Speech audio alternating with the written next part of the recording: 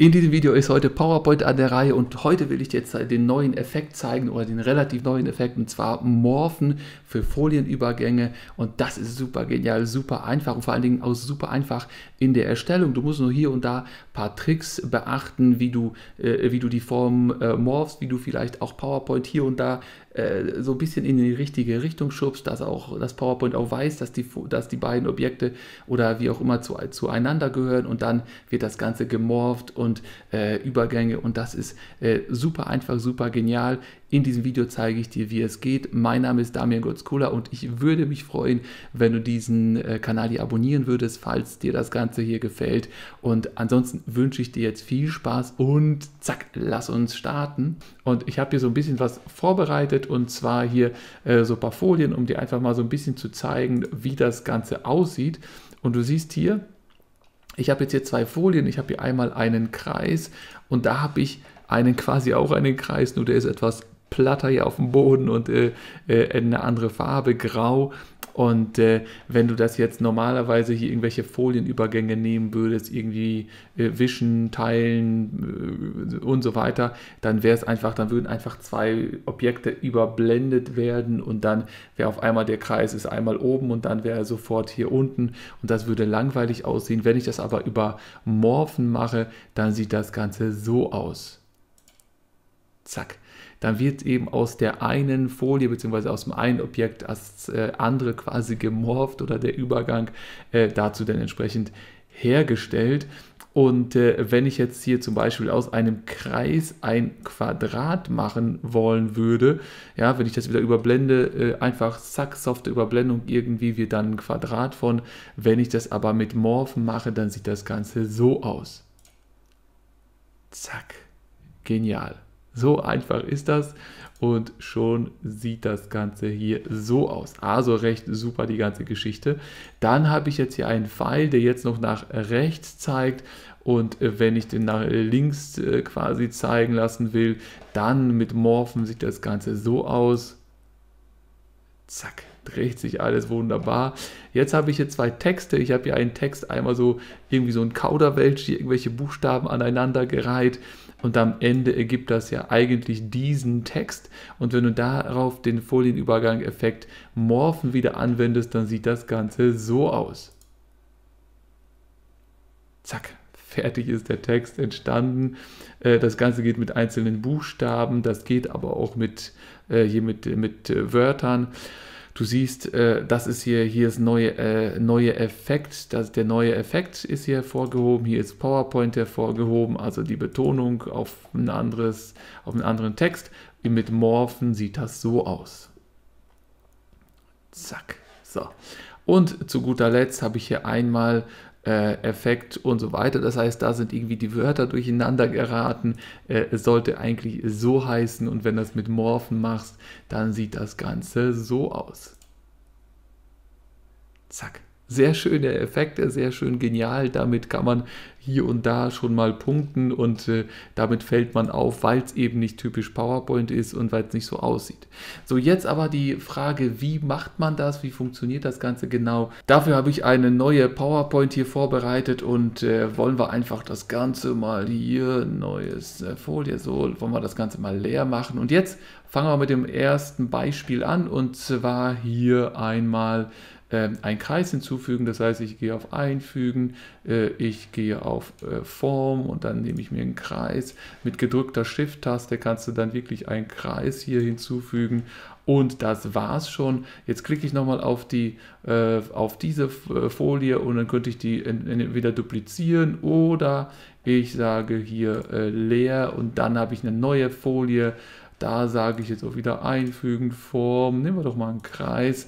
Und wenn du jetzt die Shift-Taste nicht gedrückt hältst, dann kannst du hier so einen Kreis und so einen, so einen Plattenkreis hier einmal aufmachen und dann im Fülleffekte sagst du hier so ein Grau irgendwie und Form, Korrekt, äh, Form, ähm, äh, Korrektur, äh, Kontur, keine Kontur, dann sieht das Ganze so aus. Und jetzt ist es einfach äh, relativ super simpel, wie man das Ganze hier so macht, dass es schön so einen Übergang gibt. Du gehst auf Übergänge und äh, weist der zweiten Folie hier an der Stelle so äh, den Folienübergang Morphen zu. Zack, Morphen und schon ist es gewesen. Du kannst das hier auch verschieben und was auch immer damit machen. Du kannst auch, was sinnig ist, hier äh, auf Übergänge morphen und dann rechts außen hier Dauer. Das macht bei diesem Ding vielleicht Sinn, auf eine Sekunde zu gehen. Und wenn du dir das hier anguckst, zack, so sieht das Ganze aus. So, jetzt haben wir natürlich jetzt noch weiter, wenn ich jetzt noch weiter gehe hier, das zweite Beispiel war hier das mit dem, äh, mit dem Kreis, aus dem Kreis wird ein Quadrat. Äh, das kann ich jetzt hier auch machen und zwar, indem ich jetzt hier wieder auf Einfügen gehe, Form und da einen Kreis und dann mache ich mal so einen ganz dicken Kreis hier mit gedrückter Shift-Taste einfach mal hier in die Mitte, das Richtige mache ich so einfach mal mittig, fertig. So, und jetzt brauche ich einfach ähm, eine weitere Folie und jetzt könnte ich einfach mal äh, diese Folie hier nehmen und die könnte ich ja, was weiß ich, duplizieren. Äh, dupl Folien duplizieren kannst du, indem du auf die Folie klickst und Steuerung und D äh, klickst, äh, drückst und dann hast du die Folie dupliziert. Falls, dich, falls du dich für, für Tastenkombinationen interessierst, ich habe einen kleinen, einen Messenger-Bot entwickelt, das nennt sich Tastaturcoach und der äh, coacht dich quasi zu Tastenkombinationen, der bringt dir neue bei, fragt die alten ab und so weiter. Äh, falls du daran Interesse hast, ist kostenlos, den Link findest du hier unten unter dem Video, kannst du gerne nutzen. Und äh, aber weiter hier sofort. Und zwar, ich wollte ja ein Quadrat haben. Äh, machen wir das einfach mal. Ich lösche das Ganze hier einfügen und Form und dann nehmen wir mal einfach mal ein Quadrat hier.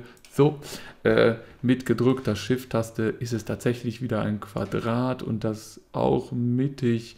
So, guck mal, da ist es mit den Hilfslinien eine wunderbare Geschichte.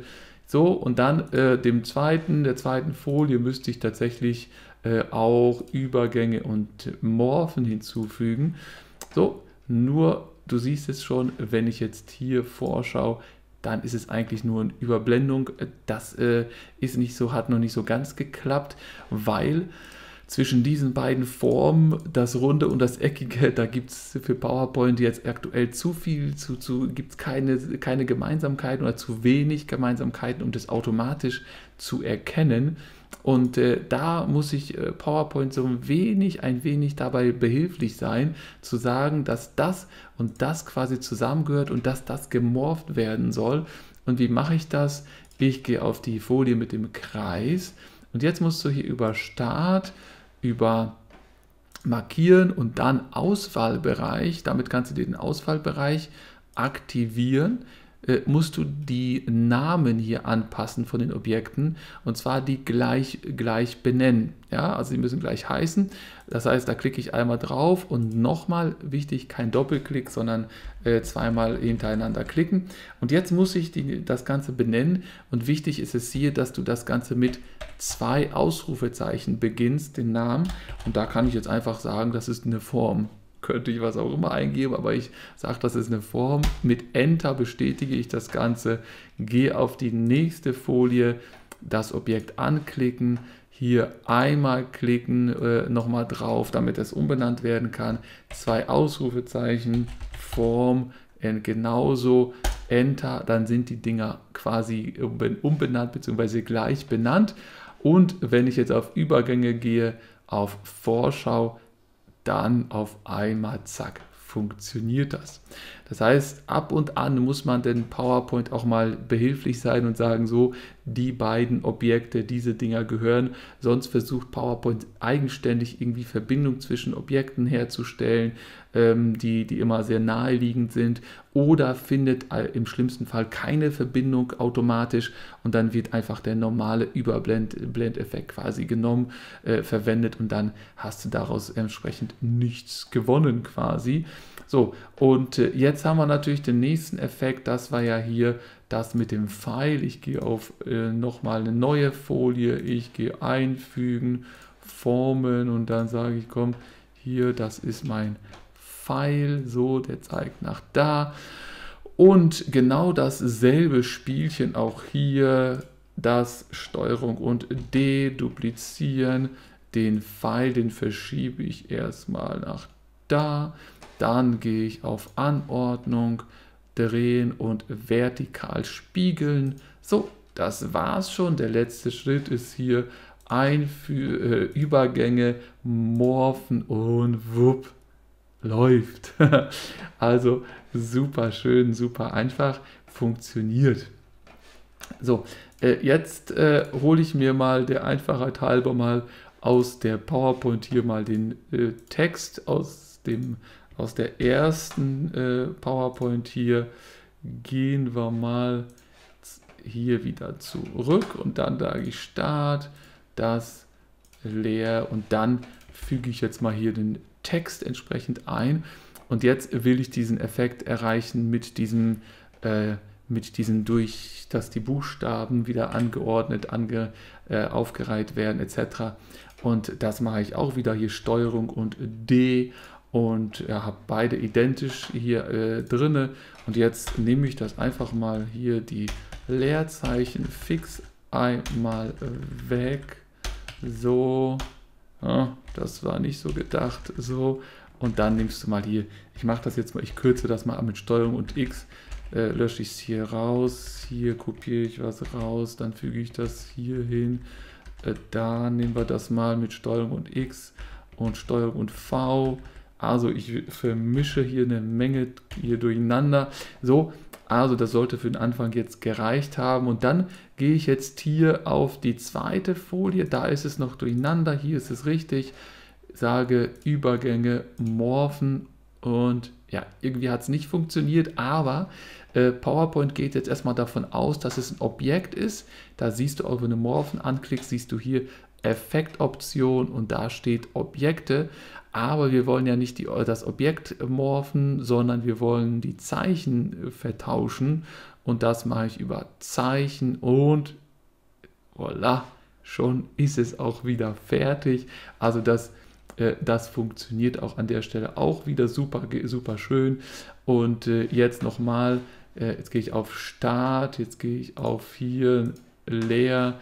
Da fügen wir mal das, jetzt müssen wir hier nochmal, hätte ich auch duplizieren können, aber lassen wir mal so. Da ist es wieder.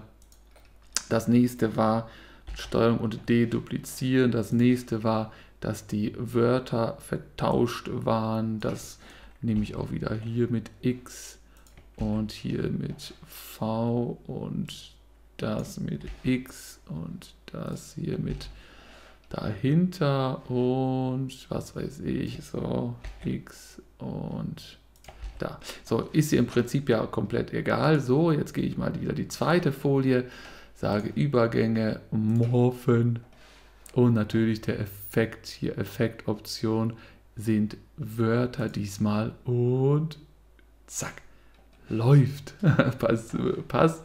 Und zu guter Letzt noch einmal hier äh, wiederum der Effekt mit den, mit den Farben und das Ganze verschoben. Warte mal, so, neu, leer, einfügen. So, und hier war es jetzt so, dass ich jetzt hier einmal das machen wir den Text rot, bisschen größer und fett.